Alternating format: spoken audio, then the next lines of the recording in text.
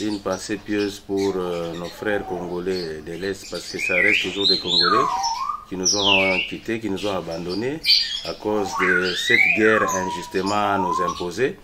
Euh, moi, je crois que aussi, je m'avais aussi euh, félicité et encouragé euh, nos FRDC à tenir toujours tête haute. C'est une guerre. Chaque guerre a, a un début et a une fin. Euh, qu'ils ne puissent pas se décourager. Ici, euh, je à toute la population, katangaise, la population katangaise en particulier, en général la population congolaise, d'être derrière les FRDC. Par rapport à la guerre de l'Est, je pense que avec ce qui se passe, à un certain moment, nous serons toujours obligés de nous mettre autour d'une table pour trouver la solution. Parce que si on ne trouve pas la solution, ce sont nos frères congolais qui succombent chaque jour, chaque seconde et chaque heure. Donc euh, ici, euh, moi, je proposerais que nous puissions nous asseoir autour d'une table pour euh, réfléchir et parler de cette guerre, si bien sûr négocier, si on peut parvenir à négocier, question de mettre fin à ces atrocités. Vous êtes les journalistes d'investigation, vous êtes les chasseurs d'information, c'est comme ça que vous vous adressez à moi en tant que natif et notable de ce coin. Effectivement, la situation qui prévaut chez nous à Kipouchi est désolante. C'est inconcevable que, que, vous puissiez voir la société qui est en partenariat, en participation avec la GECAMINE Kiko Corporation, où au début du projet, ils avaient promis qu'ils utiliseraient euh, que Kipouchi, que les enfants de Kipouchi, et que pour euh, tous ceux-là qui viendront de l'extérieur, ça sera une expertise. Oui, nous sommes conscients en tant que notables que Kiko ne peut pas employer tout le monde, Kiko ne peut pas engager tout Kipouchi. Sur ce point, nous sommes d'accord.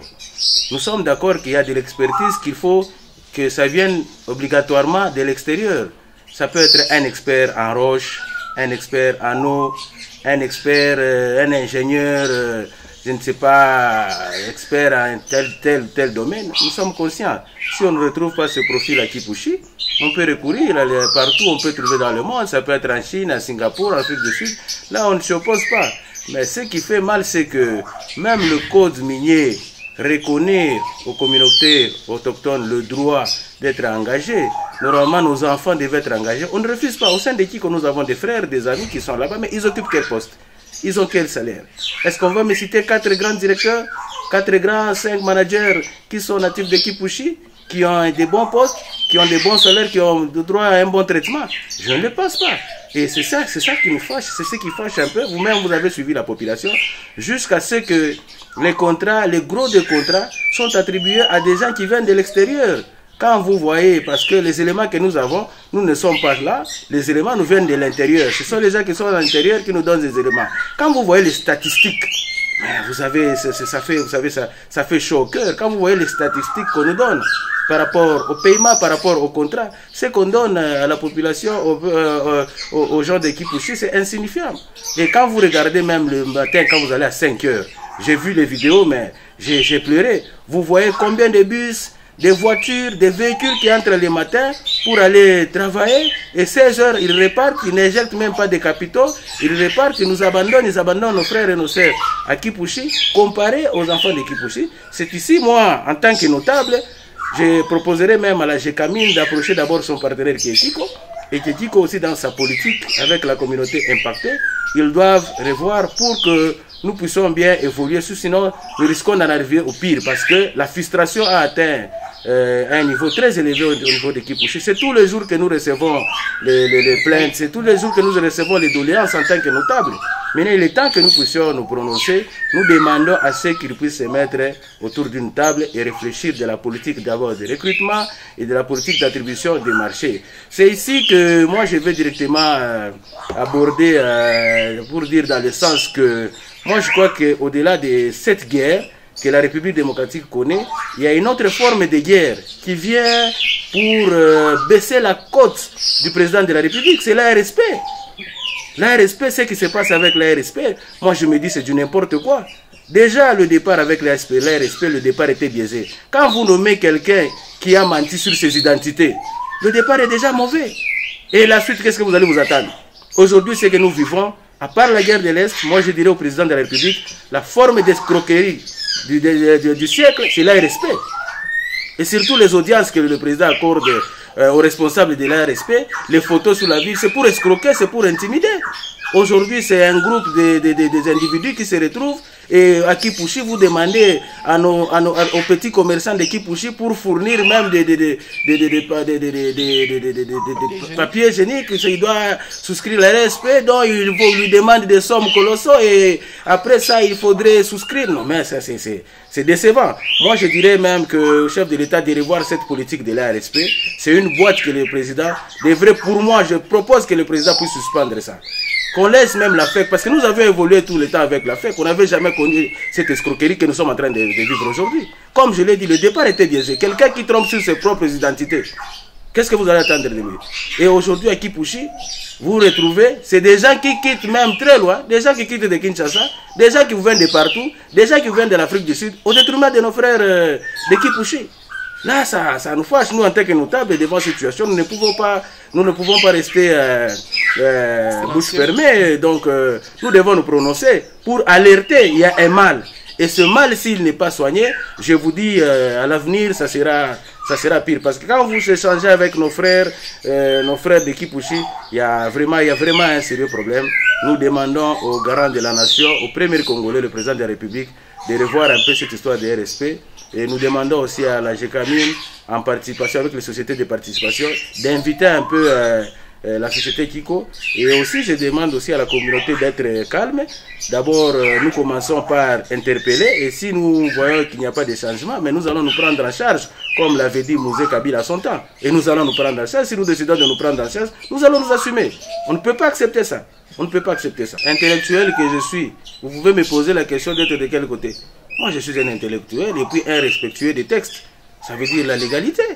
Nous venons de passer, de, de, venons de, de passer au Congrès. J'ai été élevé au rang de 4 vice-président chargé de stratégie et j'ai été reconduit comme président fédéral du Haut-Katanga. Donc il n'y a même pas d'elle. Des fois, il y a des gens qui vous posent des questions. Elle, il n'y a pas d'elle. L'UNAFEC est un et indivisible.